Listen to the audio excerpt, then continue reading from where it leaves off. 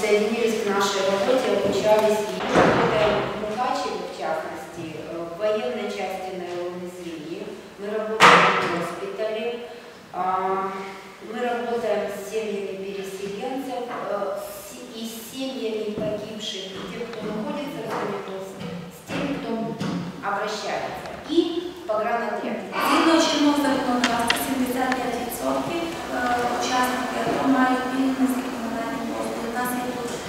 свої інформації, ми вам її роздамо, і можливо, щоб поділитися.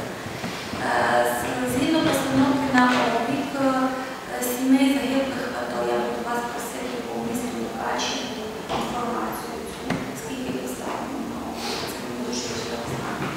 Згідно того, хто отримав земельні ділянки, тому що є розпорядження голови облдержадміністрації, голови Василя Івановича про те, що в районах всім сім'ям учасників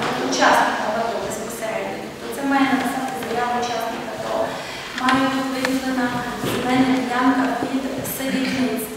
Він ну, написав вчасно заяву, що він не хоче продовжувати е, сроки контракту. Без нього йому відправили контракт, який у нас навіть на руках його немає. Розумієте?